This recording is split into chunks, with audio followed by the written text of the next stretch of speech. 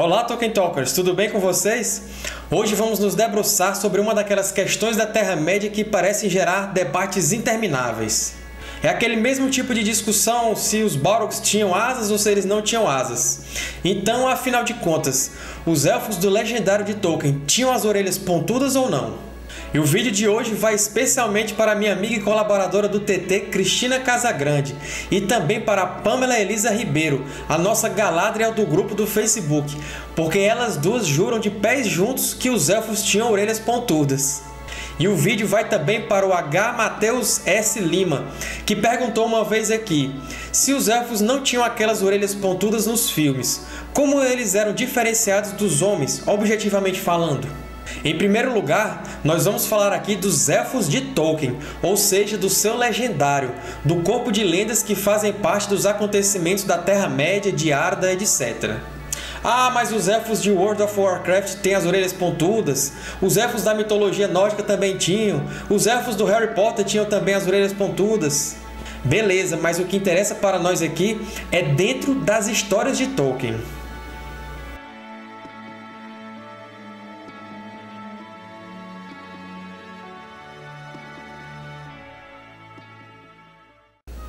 Partindo então para os estudos dos escritos de Tolkien, podemos iniciar com algumas premissas. Durante sua vida, Tolkien não publicou nada que dissesse que os Elfos tinham orelhas pontudas. Vocês podem procurar qualquer história dele ou passagem onde ele menciona a aparência dos Elfos que não vai ter nada sobre eles terem as orelhas pontudas. Os argumentos de quem acredita que os Elfos tinham orelhas pontudas utilizam textos fora de seus contextos para provar o seu ponto. Como vamos ver daqui a pouco, só existem dois textos em que Tolkien poderia dar a entender que havia orelhas pontudas, mas é necessário analisar os contextos. Sempre que Tolkien faz diferenciação entre elfos e homens, ele fala das vozes e principalmente dos olhos. Nunca há menção a orelhas. Até a altura ele chegou a mencionar, mas só para dizer que depois as duas raças ficaram mais ou menos equivalentes também nesse quesito. Algumas vezes humanos foram confundidos com elfos, e nesses casos nunca se fala de orelhas. Se esse fosse um ponto de divergência entre as raças, ficaria fácil distinguir, bastaria dar uma olhadinha nas orelhas. Se vocês olharem qualquer história de Tolkien, seja o Hobbit, o Senhor dos Anéis ou o Silmarillion, em nenhuma delas é citada qualquer orelha pontuda nos Elfos. Muitas pessoas acreditam que os elfos de Tolkien têm as orelhas pontudas porque é assim que os elfos são representados por aí fora dos escritos tolkienianos. No que se refere aos escritos do próprio Ronald Tolkien, os que são favoráveis a esse tipo de orelhas se prendem a dois textos que são controversos, porque nunca entraram em nenhuma de suas histórias. O primeiro deles é a carta que Tolkien escreveu para a editora americana Houghton Mifflin em março ou abril de 1938. A editora iria lançar o Hobbit nos Estados Unidos, então pediu ao Tolkien desenhos de hobbits para serem usados na edição americana do livro.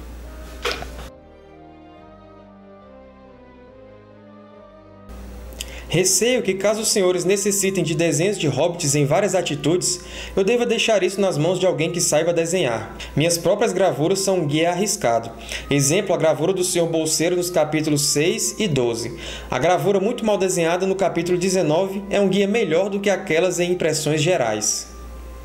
Retrata uma figura razoavelmente humana, não um tipo de coelho mágico como alguns de meus críticos britânicos parecem imaginar, gorducho no abdômen de pernas curtas um rosto redondo e jovial, orelhas apenas levemente pontudas e élficas, cabelo castanho curto e encaracolado, os pés dos tornozelos para baixo cobertos com pelo castanho e espesso, roupas, calças curtas de veludo verde, colete vermelho ou amarelo, paletó marrom ou verde, botões de ouro ou latão, um capuz e um manto verde escuros pertencentes a um anão.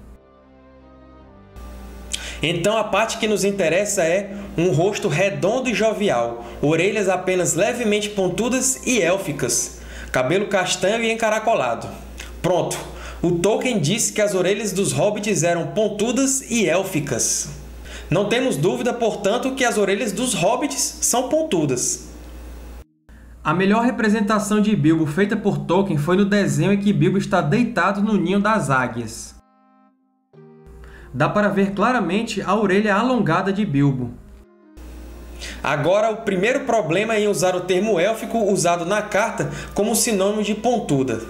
Ninguém na editora havia lido qualquer história prévia de Tolkien, até porque O Hobbit foi o seu primeiro livro do Legendário a ser publicado.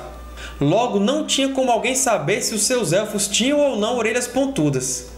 Isso significa que quando Tolkien utiliza o termo élficas como sinônimo de pontudas, ele estava nesse contexto se referindo à concepção geral de elfos que todas as pessoas comuns tinham. E a concepção comum para a maioria das pessoas era de que os elfos tinham orelhas pontudas, então por isso Tolkien usou esse adjetivo na carta. Não fazia sentido ele se referir aos elfos de suas lendas, já que ninguém tinha lido os papéis de sua mitologia. O Hobbit foi o primeiro livro desse mundo a ser publicado. Ainda que os editores tivessem lido O Hobbit e tomado conhecimento dos elfos dessa história, em nenhum momento Tolkien menciona nesse livro como eram as orelhas dos elfos. Logo, isso só reforça que quando Tolkien se referiu na carta a orelhas élficas, ele se referia à concepção comum que as pessoas tinham sobre os elfos.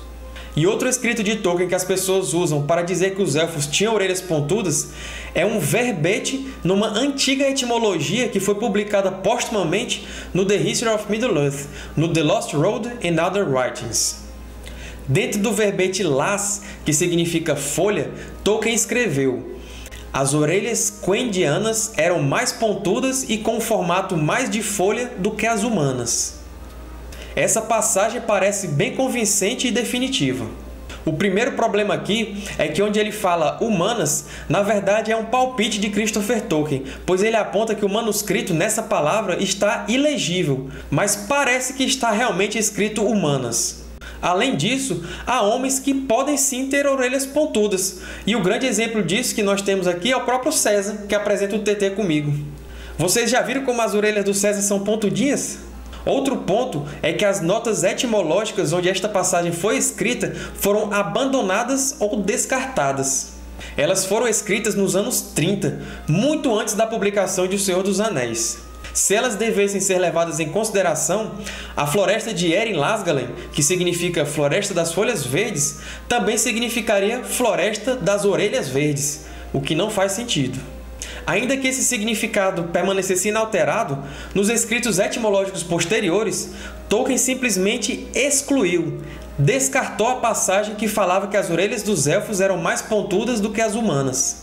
Isso significa que ele, se em algum momento pensou em fazer os seus elfos com as orelhas pontudas, agora ele não achava mais isso.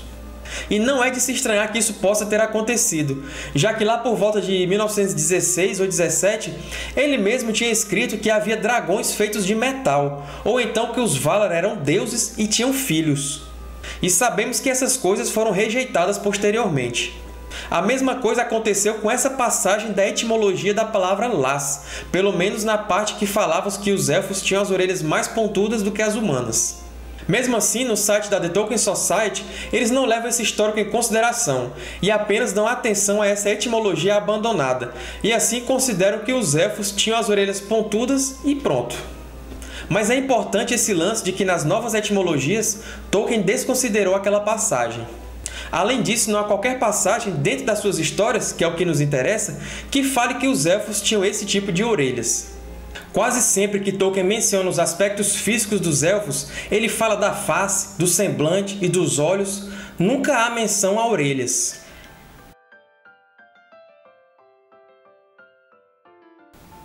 Dessa forma, Sador falava a Túrin à medida que este ia crescendo, e Túrin começou a fazer muitas perguntas que Sador considerava difíceis de responder, pensando que outros mais próximos deveriam se encarregar de ensiná-lo. Lalaith era de fato semelhante a uma criança élfica, como disse meu pai? Perguntou-lhe Túrin um dia. E o que queria dizer quando disse que ela era mais efêmera? Muito semelhante, disse Sador, pois na primeira infância os filhos dos homens e dos elfos são muito parecidos, mas os filhos dos homens crescem mais depressa, e sua juventude logo passa. Tal é nosso destino. Percebam que não há menção a orelhas. Pelo contrário, ele só ressalta as semelhanças entre as duas raças.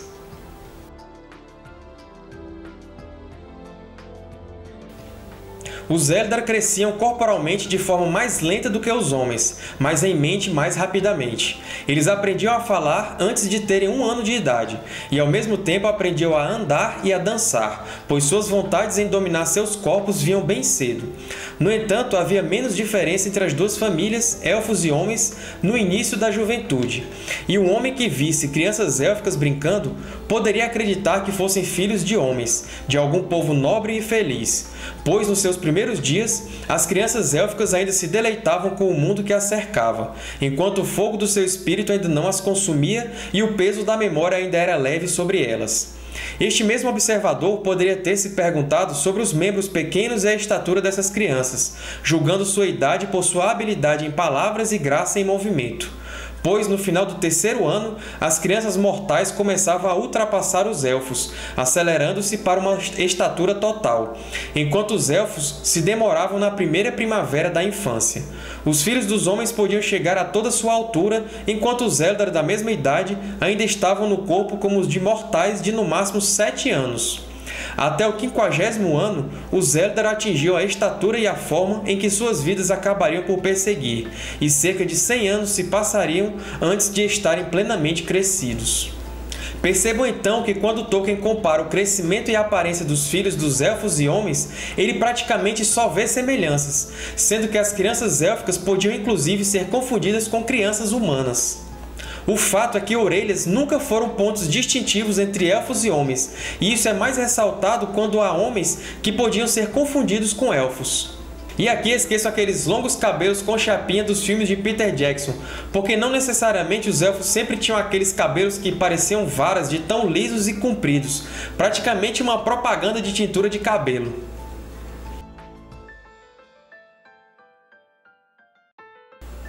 No período que se seguiu, Túrin conquistou alta posição junto a Orodreth, e praticamente todos os corações se voltavam para ele em Nargothrond, pois era jovem e só agora atingia a plena maturidade, e sem dúvida era filho de Moran Elethuen, só de se olhar. Tinha os cabelos escuros e a pele clara, com olhos cinzentos, e seu rosto era mais belo do que qualquer outro rosto dos homens mortais dos dias antigos. Sua fala e sua postura eram as do antigo reino de Doriath, e mesmo entre os elfos, ele poderia ser confundido com algum oriundo das grandes linhagens dos Noldor. Por isso, muitos o chamavam de Adanedel, o Homem-Elfo. Vejam que Túrin era tão parecido com os elfos que era até chamado de Homem-Elfo. Agora percebam que elfos e homens foram imaginados aqui para serem da mesma raça fisicamente falando. Tolkien fala que Elfos e homens são evidentemente uma raça, em termos biológicos, ou não poderiam procriar e produzir descendentes férteis. Existe ainda uma outra passagem, escrita mais ou menos em 1959, que Tolkien fala a existência dos Elfos, isto é, de uma raça de seres estreitamente aparentados dos homens, tão intimamente de fato que eles devem ser considerados como fisicamente ou biologicamente simplesmente ramos da mesma raça. Então, se Tolkien afirma que eles eram da mesma raça física biologicamente, isso significa que suas orelhas eram do mesmo tipo, não havendo diferenciação nesse quesito. Além do mais, só reforçando aquilo que eu falei sobre a carta em que ele diz que os hobbits tinham as orelhas élficas, e essa seria uma referência aos elfos do folclore comum e não à Terra-média, há algumas passagens em que Tolkien deixa bem claro que os seus elfos são realmente diferentes, não devendo ser confundidos com os da imaginação popular.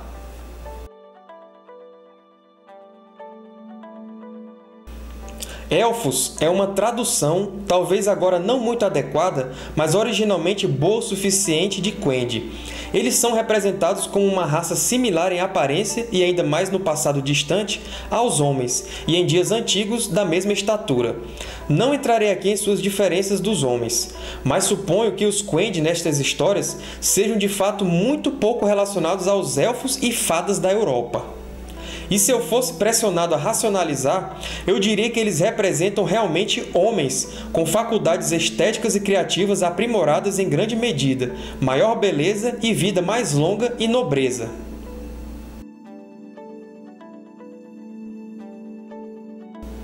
Além disso, agora lamento profundamente ter usado elfos, embora esta seja uma palavra em ancestralidade e significado original suficientemente adequada. Porém, a desastrosa depreciação dessa palavra, na qual Shakespeare desempenhou um papel imperdoável, realmente a sobrecarregou com tons lamentáveis, que são muitos para se superar.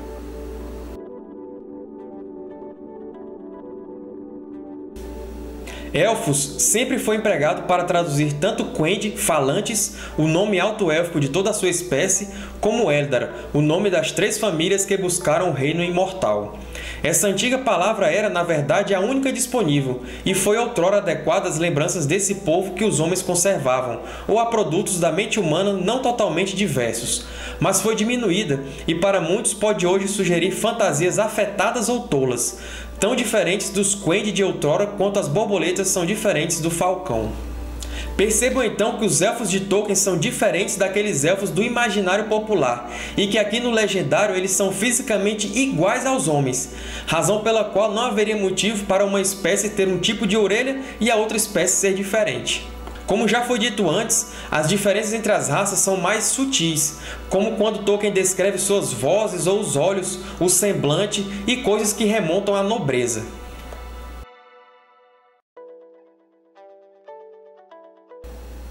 Estava Tuor então diante de Turgon, filho de Fingolfin, rei supremo dos Noldor, e à mão direita do rei estava em pé Maeglin, filho de sua irmã, enquanto à sua mão esquerda estava sentada Idril Celebrimbor, sua filha.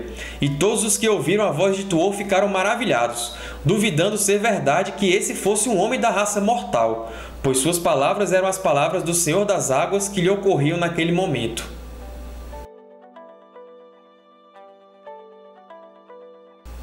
Veja que os moradores de Gondolin não acreditaram que Tuor pudesse ser um homem mortal quando ele falava com as palavras de Ulmo. Claro que se houvesse diferença entre as orelhas dos elfos e as orelhas dos homens, bastaria eles darem uma olhadinha nas orelhas de Tuor para ter certeza que ele não era um elfo. E aí pronto, problema resolvido.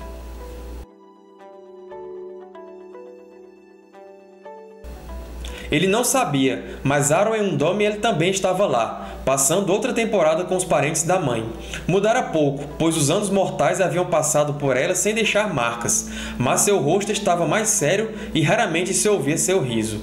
Mas Ara agora crescera, atingindo a plenitude no corpo e na mente, e Galadriel pediu que tirasse suas vestes gastas pela viagem e o vestiu em prata e branco, com um manto de cinza élfico colocando uma pedra brilhante sobre sua testa. Então sua aparência ficou superior à de qualquer homem, e ele mais parecia um senhor élfico das Ilhas do Oeste. E foi assim que Arwen o contemplou pela primeira vez após a longa separação.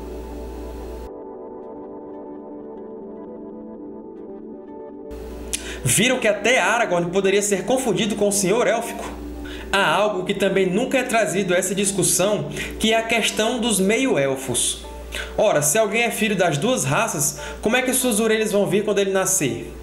Percebam, e aqui é essencial que vocês recordem lá do TT número 58, que a classificação dos meio-elfos para os fins de designar a sua espécie é meramente didática, pois o meio-elfo, na verdade, era ou elfo ou homem, dependendo dos critérios que Tolkien estabeleceu e que eu já falei para vocês lá no TT 58. Ou seja, o meio-elfo, apesar de ter esse título, seria um homem ou um elfo, e por isso o fato dele ser um mestiço não quer dizer que ele vai ter características misturadas em sua aparência, como ocorreria com pais de diferentes cores de pele, por exemplo. O que eu quero dizer é, se os elfos tivessem as orelhas pontudas, o meio-elfo não nasceria com as orelhas levemente pontudas, puxando essa característica de seu parente élfico. Sempre que há menção a um meio-elfo, é a beleza que ele herdou do seu antepassado élfico e também aos olhos cinzentos, por exemplo. Outra coisa, nós podemos ver a situação de Elros e Elrond. Os meio-elfos são casos especiais no legendário de Tolkien, mas justamente por isso é que nesse ponto a discussão do tipo de orelhas é absurda. Reflitam vocês, Elros e Elrond são irmãos gêmeos, só que Elros escolheu ser da família dos homens, enquanto Elrond escolheu ser da família dos Elfos. Como ficaria a questão aí? As orelhas de Elros simplesmente se arredondaram quando ele escolheu ser homem? Ou foram as orelhas de Elrond que se modificaram quando ele escolheu ser um elfo? E os seus descendentes então? Eles teriam orelhas pontudas ou arredondadas? Vejam que Earendil, que também era um meio-elfo, pegou características tanto do pai quanto da mãe, mas não no que diz respeito a possuir elementos visuais de um mestiço.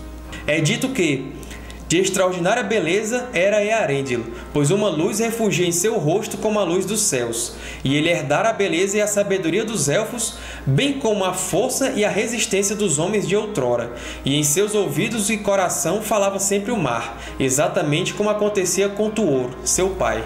Então, esses são os principais argumentos que fomentam a discussão. O que eu acredito de verdade é que há uma possibilidade de Tolkien ter imaginado seus elfos com orelhas pontudas nas versões anteriores de seu legendário, até os anos 30. Mas depois disso, como em muitas outras coisas, ele acabou abandonando essa ideia e seus elfos foram cada vez mais ganhando contornos próprios e se diferenciando dos elfos do folclore comum, desde não serem aqueles seres pequeninos e diminutos até não terem as orelhas pontudas.